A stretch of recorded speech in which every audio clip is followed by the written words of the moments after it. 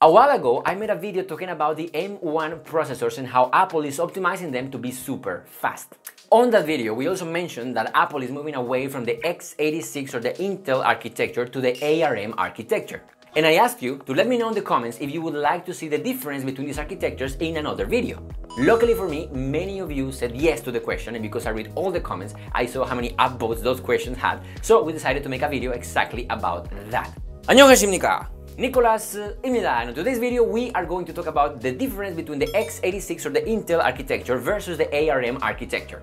Also, we're going to learn why ARM was first popular among mobile devices and now it's moving to power laptops, server, and I don't know if you knew this, but even supercomputers, the top one fastest supercomputer in the world called the Fugaku in Japan is using ARM processors.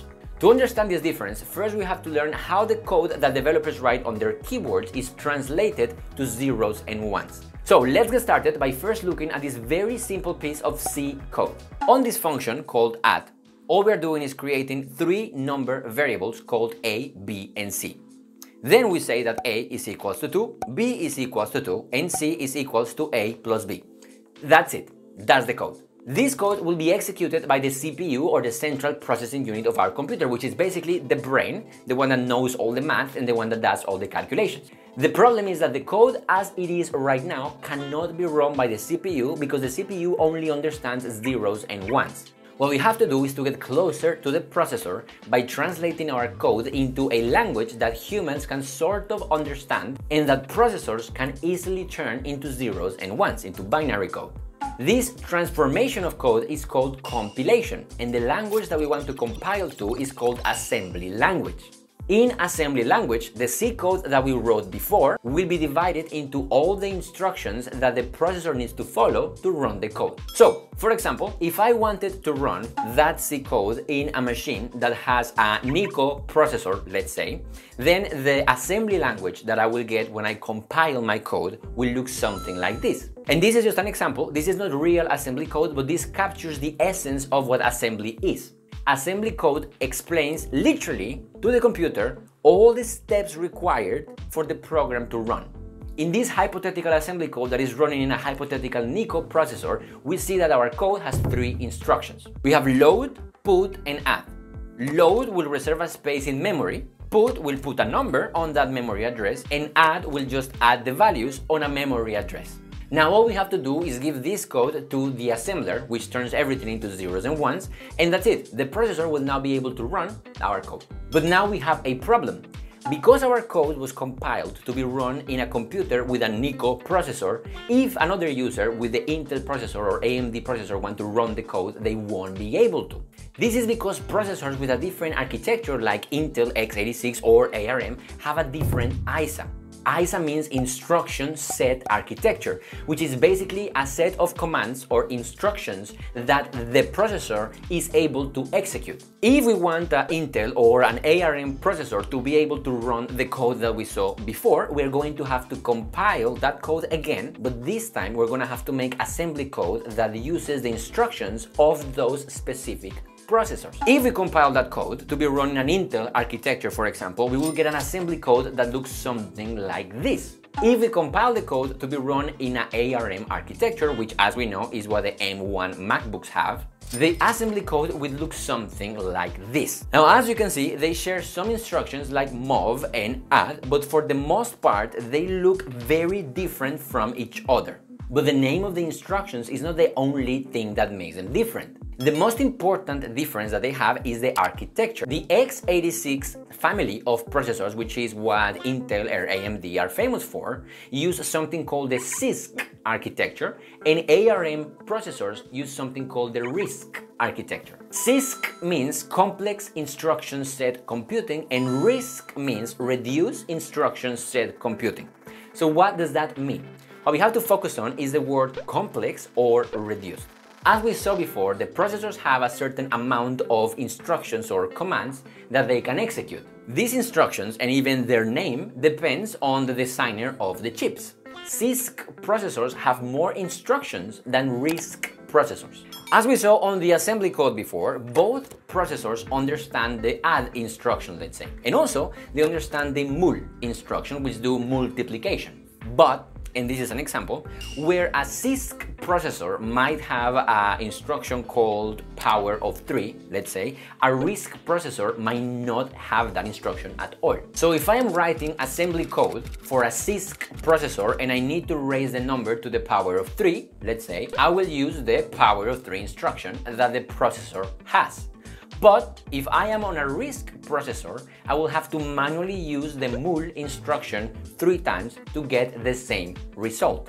In this example, with RISC, it will take me three steps, let's say three lines of code, to do something that will take me one instruction on a CISC processor. The idea behind RISC processors is that the processor shouldn't do so much. It should not be able to do so many things. Instead, it should perform the basic operations really fast. And that is the compromise. In a CISC world, with one instruction, we can tell the computer to do something sort of complex, and that might take a little bit of time, or we can send multiple instructions to a RISC processor that will be executed very fast. Now you and me, we don't have to make this compromise because we use compilers. The compiler will generate the code for us. But we have to remember that before many of the programming languages that we are used to today were created, legend developers used to write assembly code by hand.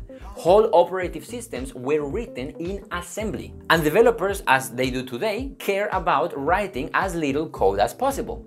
So if you were writing code for a CISC processor, it would have been better because the processor gives you so many shortcuts and commands that a RISC processor wouldn't have. And also, and it's important to remember this, back then computers didn't have a lot of RAM memory. And when you open a program and you want to run some code, that program has to be copied into the RAM memory to be executed by the processor. Now that means that if you write a lot of code and your program is very big, there is more memory needed to be able to run your program. So when computers didn't have a lot of RAM memory and when developers used to actually write assembly code by hand, it made a lot of sense to use CISC processors because they had so many shortcuts and so many helper commands for developers. But now we have compilers and memory RAM is abundant, it's really cheap and nobody or almost nobody is writing assembly code by hand. But the thing that people care about most these days is battery life. We must consider that the more complex instructions the processor is able to process, the more energy it will need to run. And this is what made ARM and RISC architecture processors so popular among mobile devices, because battery life is one of the most important things. ARM processors are incredibly energy efficient. Also because RISC processors don't have as many features as CISC processors, they require less transistors and that means they're cheaper to make and also they take up less space. In 1985, an ARM processor had 25,000 transistors compared to 275,000 transistors from an Intel processor on the same year. And it was in 1990 when Apple picked up on this and asked the ARM makers, Acorn, to license the technology to use it on their Apple Newton. Then Nokia started to use ARM as well, and since then, more and more mobile and Internet of Things devices use ARM. But now you might be wondering why people still use CISC if RISC is so good. If you look online and you ask people around, the consensus seems to be that the difference between CISC and RISC is sort of blurry nowadays. They both have learned from each other and implemented the best of each other's features. ARM has implemented many extra instructions like this one, for example, that does JavaScript type conversion. So for some people, ARM is looking more like CISC, and also some x86 processors have included some RISC features as well, so the answer is not really as black and white as we would like. We also have to think about backwards compatibility. Intel with the x86 CISC architecture has been around for a very long time. There is a lot of software, computers, servers, banks, government that are running on software that runs on the x86 architecture. So the reason why we still use CISC could be because we have always been using CISC. Because the transition between x86 to ARM is not painless. There are still today M1 users that cannot run some programs because the developers need to do some adjustments to the code to turn them from x86 to ARM. But that is changing, as we know, and it's also thanks, I believe, to the business model that the ARM company has. ARM company doesn't make the chips. Unlike Intel, Intel makes the chips, they have the factories. ARM mostly licenses the IP, the intellectual property. This means that other company can use the ARM ideas, of course, after they pay, and they can make chips and processors customized to their needs. This is what Apple is doing. They are using the ARM technology, but they are customizing and optimizing their chips for their use case, which is their computers. This way they can have more speed running macOS and they get better battery life and they don't have to wait for Intel to innovate.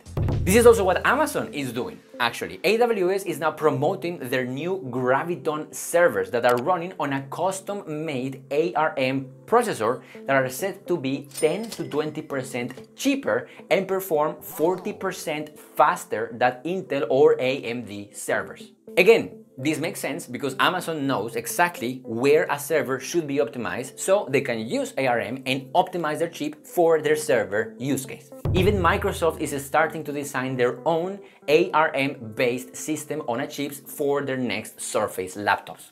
So, to conclude, today we saw the difference between the RISC and the CISC architecture in theory. But the truth is that on the implementation, in the real world, the lines seem to be very blurry.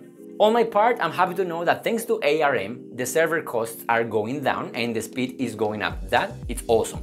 And also, I'm happy because there is competition and that means that the consumer is the one that will win at the end. Thank you so much for watching this video and thank you for leaving the comments on the previous video because this is why we made this video today. Because of you, I know what ideas to make and I know what you want to watch. So if there is something else you want to watch, please let me know on the comments. I'm going to be reading them right now. And also, if you like the way I explain things and you want to learn to code for free, then please check out our website. We have many courses. They are for free and you can learn JavaScript, React, React Native, Python, many other things for free with explanations like this one. Thank you so much. Again, stay happy, stay free, eat kimchi. We love you. Kamsahamnida. Saranghaeyo. See you you on the next one. Bye bye.